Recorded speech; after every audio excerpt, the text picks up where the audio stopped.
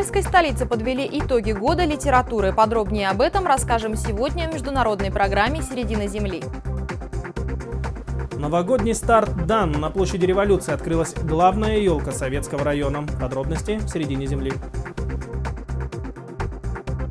Здравствуйте! Международный информационный выпуск «Середина земли» начинается с новостей Забайкальского края. В студии Вера Садулина. Забайкальской столице подвели итоги года литературы. В зале Дома офицеров собрались те, для кого любовь к слову стала, если не профессиональной деятельностью, то большим и серьезным увлечением. Чем и как живет литературное Забайкалье, узнали наши корреспонденты. Год литературы совпал в Забайкалье с несколькими юбилеями. В 2015 году 75-летие отметил бы известный в нашем крае поэт и писатель Геннадий Головатый. 70 лет исполнилось бы Михаилу Вишнякову, 100 лет Виктору Лавринайтису. Полвека проводится Забайкальская осень, некогда популярный не только в крае, но и в стране литературный праздник. В последнее время в регионе все больше новых авторов заявляют о себе. Многие из них из Забайкальской глубинки. Сейчас очень много в районах, особенно в Агинском округе, там вообще рассадник поэтов, очень творческий такой вот край. Может быть, раньше им было сложнее прорваться. Сейчас у нас проходят ежегодные семинары, мы как-то стали с ними работать, а, от, просматривать. Вот посмотрите, целых 20 лет у нас существовала писательская организация, а работы вот с молодыми. Ну, я имею в виду относительно теми, которые начали писать, не было, мы их не знаем. А теперь мы начинаем их узнавать. Это здорово. По словам собравшихся деятелей забайкальской литературы, в этом году было много замечательных мероприятий. Но все же самые сильные впечатления оставили встречи с читателями, особенно в районах. Видели заинтересованность, видели, что читают и молодые поколения, и ребятня, и подростки. Хотя у нас почему-то существует стереотип, что не, это все, это интернет-племя. На самом деле это не так. В селе не так, в городе больше просто возможностей. А в селе там интернет иногда не тянет, и человек идет в библиотеку. Часто подобное прямое общение дает дополнительный творческий толчок. Равиль Гениатулин вспоминает об одном из таких случаев. В одной из бесед, так, на ходу, правда, один молодой человек, а что у нас в Забайкале еще и писатели есть? Вот я, меня это внутри возмутило. Я поэтому думаю, мы вам покажем, что у нас есть в Забайкале писатели, поэты. И, может быть, вот в связи с этим маленьким фрагментом, таким нюансом я ввязался в это дело и с радиопрограммами, и прочими делами. Вот. И я думаю, мы показали довольно приличному количеству людей, что не только есть писатели поэты, есть высокого уровня писатели и поэты, как старшего поколения, так и подрастающего поколения. Поэтому литература в Забайкале живая, это однозначно. Когда-то в нашем городе была популярна шутка, что даже название Читы происходит от слова «читать». Вернуть Чите и краю статус читающего Забайкалия – важная задача всего нашего общества, даже несмотря на то, что год литературы закончился. Любовь к шахматам на всю жизнь. В 7 лет Батон Аржилов получил в подарок от старшего брата свою первую шахматную доску. Первые поражения, первые успехи. В 1973 году в Магойтуйском районе он стал одним из организаторов турнира «Белая ладья», который проводят до сих пор. В 2004 был в числе инициаторов создания в поселке шахматного клуба. Учитель по призванию, он и сейчас занимается с детьми. Бато Пунцукович Наржилов – учитель с почти полувековым стажем. В этом месяце он вновь прошел переаттестацию и подтвердил высшую категорию. В Магойтуйской средней школе номер два он ведет уроки информатики, физики, а вместе с темой астрономии. Нормально и с удовольствием приходят. Особенно если вечер предложится, они вместо одного класса придет три класса. Хоть что делать, типа такого бывает. Потому что особенно вечер молодежи хорошо бывает. Они любят на астрономии ходить. Но любят школьники не только астрономию. Батон Аржилов также передает свою мудрость ученикам и по части интеллектуального спорта. С 1973 года он начал заниматься с магойтуйскими ребятами в шахматной школе. Тогда и организовал в районе турнир «Белая ладья». А сейчас преподаватель ведет секцию по шахматам, в которой занимаются те, кто проявили наибольший интерес к игре и кому недостаточно обязательного предмета, который так и называется – шахматы. С 2014 года во всех школах Магойтуйского района в начальных классах классах ввели такой предмет. Для детей учителя дают основы наглядно. Занимаются они не только по учебникам. Педагог показывает тактики на экране. Его единственный ход сюда, мат. Мат. Итак, объявили мат черным королем. Уроки проходят весело, а главное – с пользой. Педагоги отмечают, что после введения нового предмета ученикам проще даются другие науки, особенно математика и информатика. Магойтуйские школьники активно занимаются робототехникой. Свои разработки представляют на краевых научных выставках. В этой школе, кстати, есть и медиатека или электронная библиотека. Все ребята могут заходить сюда во время перемены. На каждом компьютере установлена электронная версия шахмат. В школе номер два за все время вырастили 12 кандидатов в мастера спорта по шахматам. Сейчас трое из них еще учатся здесь. Это Сергей Брюхов, Батыр Жамбалов и Ачир Дондаков. Тренер Бато Пунцукович возит их на соревнования, которых в последнее время в крае все больше. Ачир на Кубке Мегаполиса занял третье место и стал лучшим игроком Забайкалья среди школьников. Он начал заниматься шахматами 11 лет назад и говорит, что увлечение на всю жизнь. Понравился, когда первый раз сел играть с отцом. Ну и дальше пошел на кружок, и там дальше э, занимался у тренера профессионально. У тебя на груди так много медалей, наверное, уже со счета сбился. Сколько? А, вот, вот только что посчитал, их 27. Девочек в секции по шахматам хоть и меньше, но все же и они делают успехи. Ученица Бато Пунцуковича, девятиклассница Тамжит, неоднократная победительница краевого первенства среди школьных команд «Белая ладья». Она же становилась призером районных и окружных соревнований. Мне пришлось долго тренироваться, чтобы получались результаты. Но я сейчас на втором разряде. Так как у меня сейчас экзамены с Бато Пунцуковичем, мы занимаемся только перед соревнованиями. Я считаю, что шахматы дают мне Э, направление в жизни. Иногда я ситуации принимаю как шахматные партии. Подает надежды тренера и Цирена Роднаева. Она легко ставит мат старшеклассникам. В свои 10 лет читает толстенные книги по шахматам. С Бато Пунцуковичем она занимается три раза в неделю. При этом времени у Цирены хватает и на массу других увлечений. Я люблю рисовать, играть в шахматы, в теннис играть, э, и стрелять из лука. Э, еще люблю читать, в школу ходить. Кстати, дочь Бато Пунцуковича Жергалма пошла по стопам отца. Она преподаватель информатики и также любит шахматы. У них это семейные. Ее сын и внук Бато Пунцуковича в 6 лет имеет две медали за победы в районных и окружных соревнованиях. У меня всей семья играет в шахматы. Ахешка, папа, Алжашка. Девушка хорошо играет, много медалей. Две серебряных, много железных и золотые. Мне нравится от короля первым ходом ходить, потом конем. Магойтуйские команды нередко занимают первые места в региональных турнирах. Так, в школьной олимпиаде в этом году ребята заняли второе место. Преподаватель Батон Аржилов, впрочем, ведет занятия еще и в шахматном клубе, который располагается неподалеку от школы, в местном доме культуры. В нем зачастую проходят районные соревнования. Клуб был открыт в 2004 году по инициативе магойтуйских ветеранов игры в шахматы. Одним из них и был Бато Пунцукович. Сейчас сюда ходят люди разных возрастов. Самому младшему участнику 6 лет лет, старшему 88. Шахматы – это спорт, это искусство, это творчество и наука. Если ты проиграл, виноват в этом деле только ты сам. Но здесь нужна воля какая-то определенная. У педагога первый разряд по шахматам. Он часто повторяет, хорошего учителя ученики всегда превосходят. И успехи школьников тому подтверждение. Как-то Александр Сергеевич Пушкин написал, дорогая ты пишешь, что шахматы играешь. Это очень необходимо в любом благоустроенном семействе. Марина Герасимова, Анна Хвостова, «Середина земли», Забайкальский край. Роспотребнадзор Бурятии проводит внеплановые проверки производителей биологически активных добавок к пище и аптек, продающих БАДы. Уже проверено более 50 предприятий. На 27 объектах выявлено нарушение санитарного законодательства, нарушение сроков прохождения персоналом медицинского осмотра и гигиенического обучения. Также зафиксированы случаи продажи БАДов с истекшим сроком годности. Передаю слово коллеге из Улан-Удэ. Здравствуйте, продолжите тему. Здравствуйте, коллегам! Проверяющие также отрапортовали, что потребители вводят в заблуждение относительно свойств пищевых добавок. Нарушители оштрафованы за это на 60 тысяч рублей. В целом забраковано 28 партий БАТ объемом 80 упаковок. Причина – отсутствие на этикетке необходимых знаков и истечение срока годности. Проверки будут продолжаться и к другим новостям.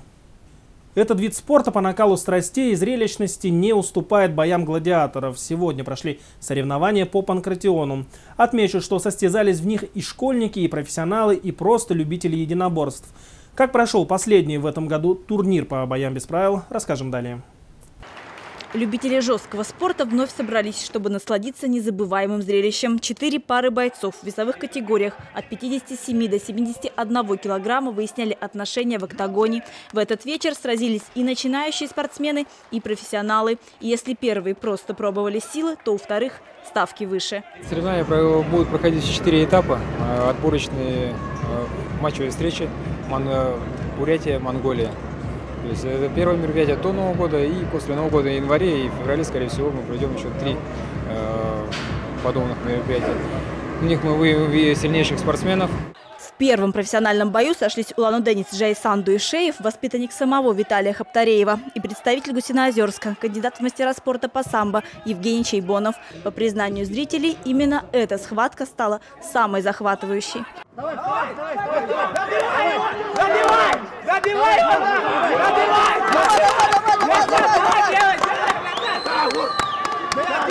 Оппоненты активно работали и в стойке, и в портере. Один из спортсменов получил травму глаза, что не помешало ему не только продолжить бой, но и выиграть. Для Жайсана Дуишеева эта схватка только вторая в профессиональной карьере. Но, как говорит молодой человек, к встрече с представителями Монголии он готов. Как Виталий Хаптареев скажет, ну, вот для меня как второй отец.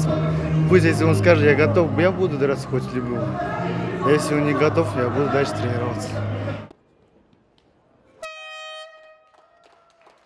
Между тем, до главного праздника осталось всего неделя. Город активно готовится к нему. Первым елку на площади революции зажег советский район Улан-Удэ. Что интересного придумали на этот раз, расскажет наш корреспондент.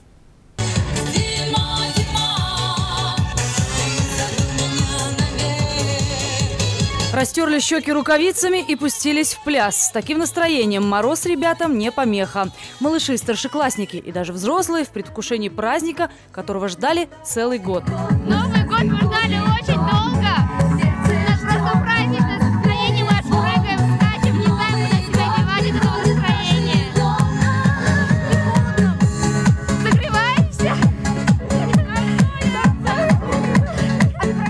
наступающим семейным праздником ребят поздравили главные герои Нового года – Дед Мороз со Снегурочкой и Сагану Бугун.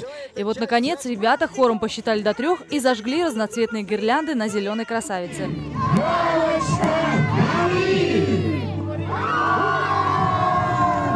За 12 месяцев сделано было немало. 2015 год был годом патриотического воспитания. Вся страна праздновала 70-летие победы в Великой Отечественной войне. Устанавливались новые памятники героям, восстанавливались памятники истории. Будущий год объявлен у нас годом тематическим, годом 350-летия основания города Улан-Удэ. Мы с вами к этому готовы. 15 год был особенным тем, что значит, в этом году мы отметили 70-летие победы в Великой Отечественной войне. Многие из вас и коллективы предприятий, организаций принимали участие во всех мероприятиях и в чествовании наших ветеранов. Большое вам спасибо. Уходящий 2015 был годом литературы, а наступающий объявлен годом российского кино. Общая сумма штрафов пекинским водителям, которые выезжали на своих автомобилях в неположенный день во время действия красного уровня тревоги из-за смога, может превысить 1 миллион долларов. При объявлении красного уровня загрязнения автоматически вводятся обязательные меры, среди которых сокращение движения автотранспорта, считающегося главным источником загрязнения воздуха.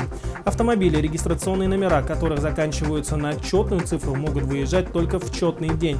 Машины с нечетными цифрами в номерах в нечетный день. Что еще интересного происходит в Китае, расскажут наши коллеги. Пекин на связи. Здравствуйте. Здравствуйте, коллеги! В студии Руслана Гасанова и в ближайшие минуты мы расскажем о самых заметных и интересных событиях в Китае. Большой национальный театр отпраздновал свой восьмой день рождения. По этому случаю мастера сцены объявили День открытых дверей и представили свой лучший репертуар. Для зрителей приготовили яркую программу – балет, оперу, традиционную музыкальную драму и несколько сюрпризов. Большой национальный театр традиционно отмечает свой день рождения с размахом. В этот раз на праздник пригласили около 10 тысяч человек.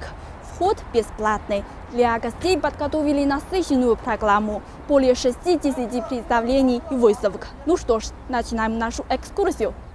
Большой театр начинается еще до вешалки. Сразу входа посетителей встретили вокальными номерами из оперы «Азорь» здесь тихие.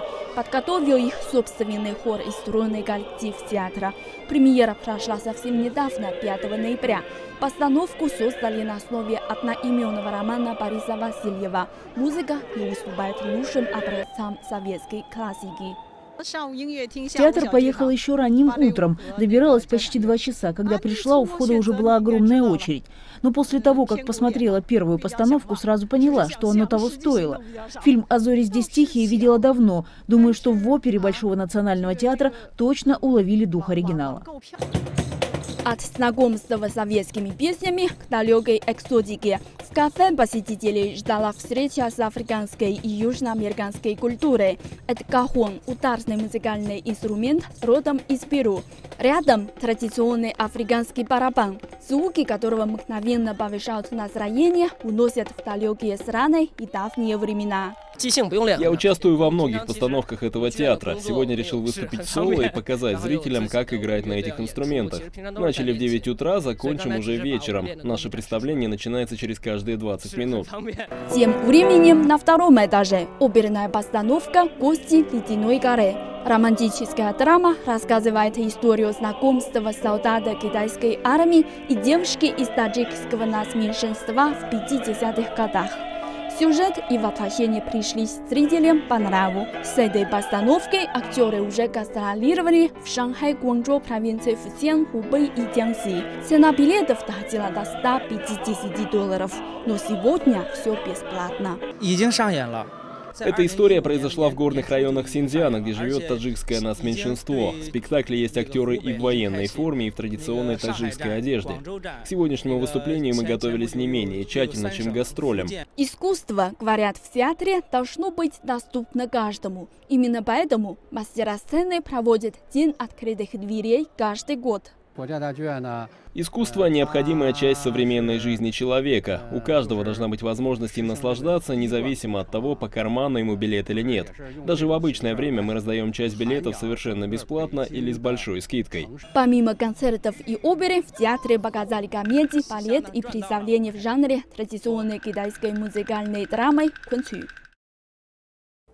Запретный город китайских императоров открывает свои последние тайны. Сокровища самого большого дворцового комплекса в мире теперь можно увидеть в мельчайших деталях. На южных воротах Дуаньмэнь со стороны площади Тяньанмэнь открылась цифровая галерея «Заказать билеты», в которую можно через любое мобильное устройство. В путешествие по прошлому, вооружившись технологиями будущего, отправился наш корреспондент. Памятники архитектуры и произведения искусства с неожиданного ракурса. Даже музейные работники, которые запретный город знают как свои пять пальцев, увидели Гугун по-новому. Теперь от пытливого взгляда исследователя не ускользнет ни одна деталь, а у посетителей появился выбор. Либо увидеть шедевры 600-летней истории вживую, но издалека, либо виртуально, зато полностью погрузившись в прошлое. Возьмите недавнюю экспозицию Шидзю Баудзи. Тогда в музее был выставлен 500-метровый свиток «Пейзаж на берегу реки во время праздника Цинмин». Из-за большого количества посетителей немногие смогли увидеть экспонат целиком. Поэтому мы выставили оцифрованную копию свитка в галерее, чтобы люди могли рассмотреть его поближе. В будущем мы будем показывать больше картин. Чтобы получить бесплатный билет на выставку, надо зарегистрироваться на официальном сайте музея. Время посещения цифровой галереи около 50 минут. Дуаньмэй – это южные ворота Гугуна. Посетители могут начать свой визит оттуда. Посетив 9 залов галереи, туристы смогут получить общее представление о музее. Более того, здесь можно увидеть ту часть запретного города, которая закрыта для публики. Так, на выставке в трехмерном изображении представлена учебная комната императора Цянлуна в павильоне Сан-Ситан. У меня на этом все. О других событиях мы расскажем в следующих выпусках. До встречи!